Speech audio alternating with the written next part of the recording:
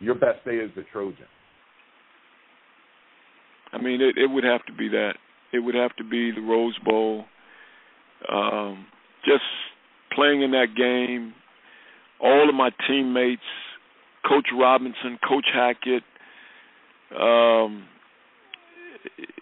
uh, you know, just the impact that that had uh, throughout the country.